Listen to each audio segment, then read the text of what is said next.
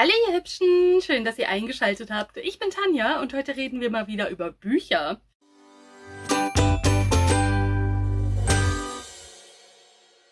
Und zwar zeige ich euch heute meinen Lesestapel für den September.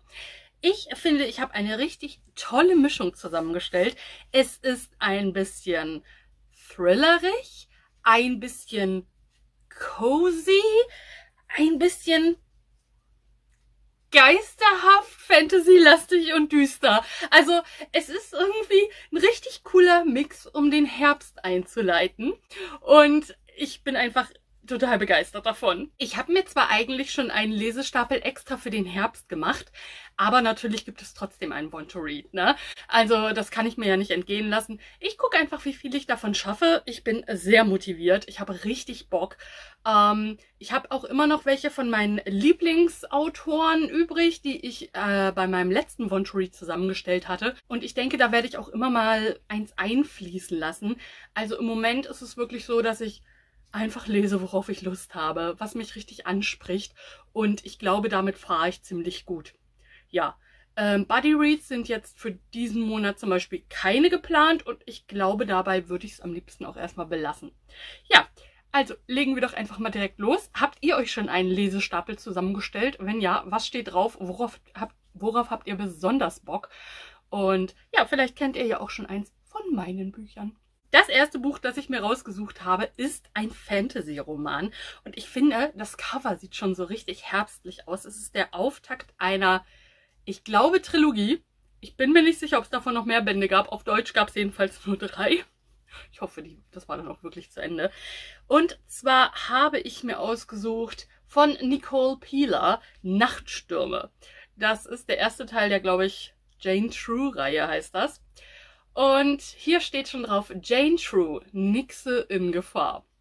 Schon immer wusste Jane True in ihrem Innersten, dass sie nicht so ist wie die anderen in Rockable, einer beschaulichen Kleinstadt in Maine. In einer eisigen Winternacht wird ihre Ahnung dann zur Gewissheit, denn bei einem nächtlichen Bad in den aufgepeitschten Wogen des Ozeans macht Jane eine Entdeckung, die nur einen Schluss zulässt. In ihren Adern fließt nur zur Hälfte menschliches Blut sexy, witzig und charmant, der neue magische Bestseller aus den USA. Ja, also ich glaube tatsächlich, dass das jetzt düsterer aussieht, als es sein wird. Ähm, ich könnte mir vorstellen, dass das heutzutage mit so einem Comic-Cover verlegt werden würde. Und ja, könnt mir schon vorstellen, dass es irgendwie cozy ist. Ich meine, so eine Kleinstadt in Maine, das ist oftmals echt niedlich beschrieben, ja. Und Nixe in Gefahr. Also ja, ich nehme mal stark an, dass sie eine Meerjungfrau sein wird ich, oder eine Sirene, irgendwie sowas. Ähm, ich glaube aber auch, dass das irgendwie so ein Krimi-Aspekt hat. Also ich bilde mir irgendwie ein, dass ich mal einen anderen Klappentext gelesen habe und dass es dann da irgendwie ja in so eine Cozy Crime Richtung vielleicht geht. Ähm, ich finde es halt cool, dass die Stadt Rockaville heißt. Vielleicht gibt es dann auch irgendwie so, ich weiß nicht warum, aber irgendwie so 50er, 60er Jahre Feeling. Ich habe keine Ahnung. Ich lasse mich einfach überraschen. Ich habe richtig Bock drauf. Ähm, ich weiß auch gar nicht mehr, wie ich an dieses Buch geraten bin. Ich glaube tatsächlich, ich habe mir mal den zweiten oder dritten Band aus dem Mängelexemplarkiste gegriffen und musste die anderen dann noch dazu holen. Das ist aber auch schon wieder Jahre her, dass ich diese Trilogie vervollständigt habe. Und ich weiß nämlich noch, dass ich den einen Band, ich weiß nicht welcher das war, super schwer bekommen habe. Also, äh, ich hab Bock. Ich hab Bock. Das, das, ich ich glaube, das wird cool.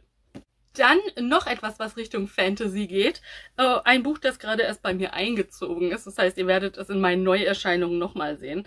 Und zwar Over My Dead Body von äh, Mass Evans. Miriam Price wurde ermordet und jetzt ist sie stinksauer.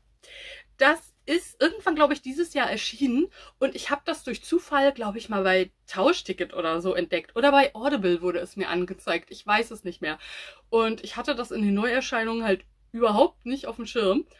Und ja, da wusste ich, ich muss das irgendwann mal lesen. Also es stand jetzt nicht super krass auf meiner Prioritätenliste, aber als ich es dann bei Tauschticket gesehen habe, musste ich mir das einfach ertauschen, weil es klingt super lustig.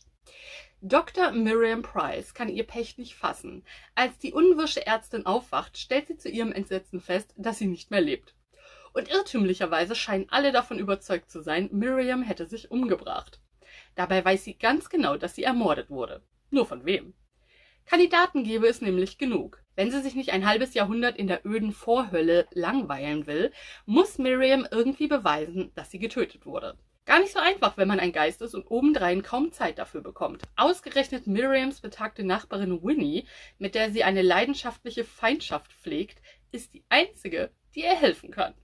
Der Guardian schreibt urkomisch. Ja, ich hoffe, dass das wirklich so lustig ist. Ich finde, es klingt total lustig. Ähm, so Geistergeschichten, ich, ich finde, das passt gut in den Herbst. Auch wenn es lustig ist, ist es irgendwie herbstlich cool. Also es ist jetzt nichts, was ich im Sommer gelesen hätte. Da kann es dann jetzt auch langsam mit äh, Laub und Stürmen und Gewitter und so losgehen. Ne? Ich bin voll dabei. Sagte sie und steuerte auf die kommende Woche mit 30 Grad zu. Ich freue mich ja schon sehr, ne? Also ich bin schon voll im Herbstmodus. Jetzt muss es nur noch in der Natur ankommen.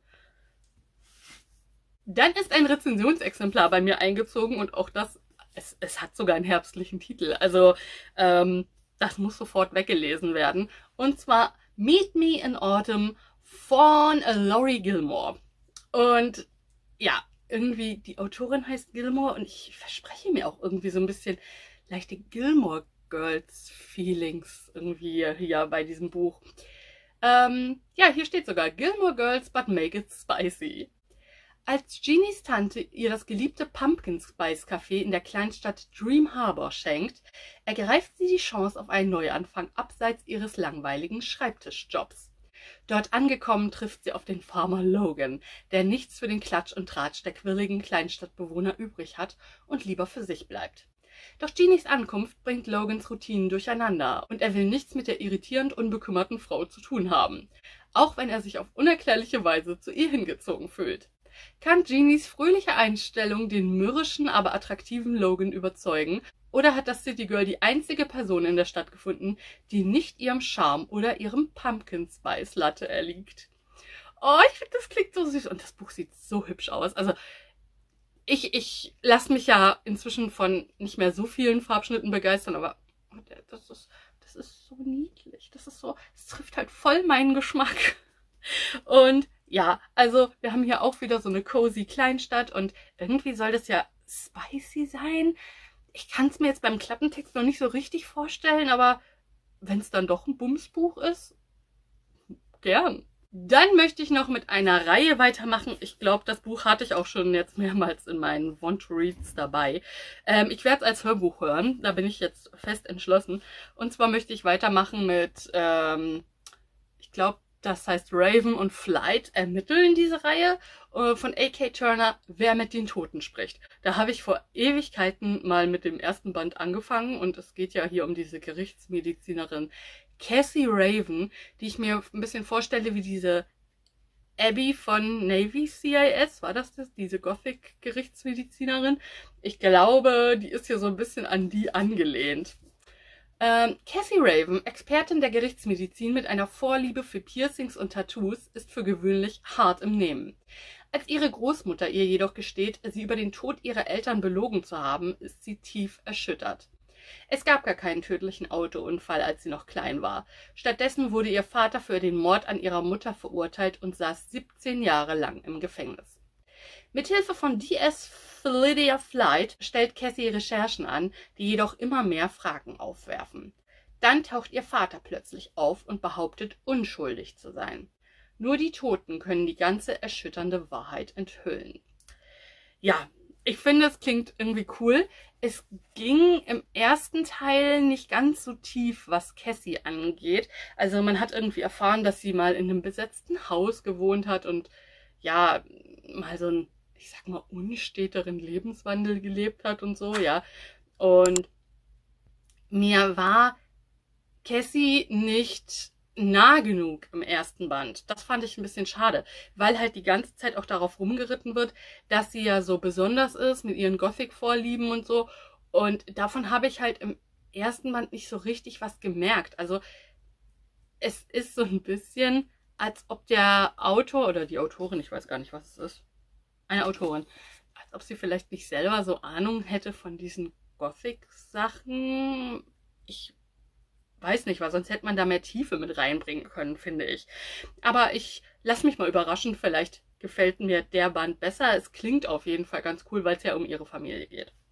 Das nächste Buch, das ich lesen möchte, habe ich mir gekauft und will gar nicht so lange hier rumgammeln lassen. Äh, und zwar Phantom, Geisterherz und Schattenblick von Melissa E. Lina. Ähm, auch wieder was mit Geistern und deswegen dachte ich mir, das könnte jetzt auch gut in den aufkeimenden Herbst passen. Ähm, Geister zu sehen war nicht bloß eine nette Macke. Es war etwas, das die Menschen entweder zutiefst verschreckte oder sie dazu brachte, sich über mich lustig zu machen. Beides keine attraktiven Aussichten. Als sogenannter Anker ist Zoe ein Magnet für Geister und Übersinnliches. Für sie ein guter Grund, sich nicht nur von den Toten, sondern auch von den Lebenden fernzuhalten. Sie hat jedoch nicht mit River gerechnet. Als er das Second Life, den Videospielladen, in dem Zoe arbeitet, betritt, bröckelt Zoes Schutzwall unter seiner unerschütterlichen guten Laune. Nach und nach schleicht er sich auch in ihr Herz. Doch kann sie riskieren, ihn in ihr Geheimnis einzuweihen. Und was, wenn River selbst mit einem Mal eine viel zu große Rolle darin spielt? Ich habe ja so die Vermutung, dass der vielleicht auch ein Geist ist, aber ich denke mal, man kann die ja eigentlich unterscheiden von den Lebenden, denke ich mal. Das hat aber auch einen sehr süßen Farbschnitt hier mit so kleinen Geistern drauf. Ich weiß nicht, ob ihr das richtig sehen könnt. Das ist auf jeden Fall sehr schnuckelig. Hier oben auch mit äh, buntem Laub. Also auch sieht schon so herbstlich aus. Muss weggelesen werden. Dann ein Buch, das vielleicht gar nicht so ganz herbstlich ist, aber der Titel hat mich irgendwie dazu gebracht, das jetzt lesen zu wollen, nämlich Bonfire. Sie gehörte nie dazu von Kristen Ritter. Ähm, Bonfire, Lagerfeuer, also das ist klingt irgendwie auch so herbstlich. Ich äh, mag Kristen Ritter, die kennt ihr vielleicht. Ähm, sie hat Jessica Jones gespielt, die Serie habe ich tatsächlich nie gesehen.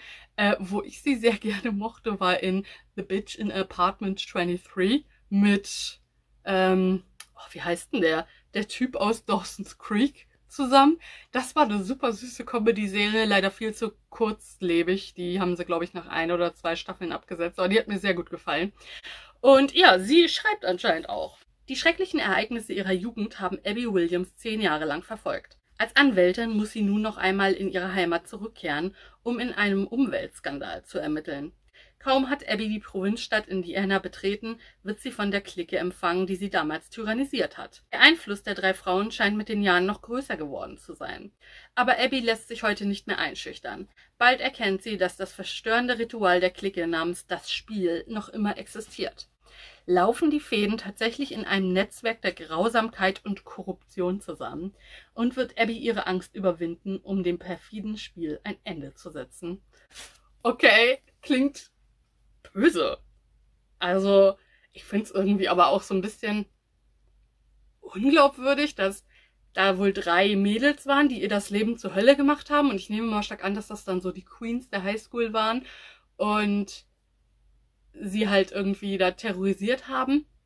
Und dass die dann heute immer noch so das Sagen haben, weil ich weiß nicht, wenn ich so an die Leute zurückdenke, die damals so die, die Queens auf meiner Schule waren. Die meisten von denen haben jetzt vier Kinder und sind schon geschieden und so ein Zeug. Also, ich weiß nicht. Aber naja. Ähm, ja, mal gucken, wie sich das wegliest.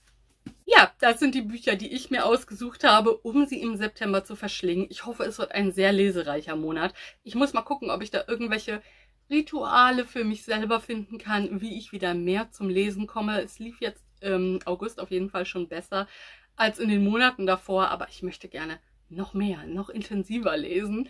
Und ja, einfach mal schauen, wie das so klappt. Ja, mehr habe ich dann heute auch gar nicht zu sagen. Ich hoffe, wir sehen uns im nächsten Video wieder. Bis dann, meine Lieben. Tschüss!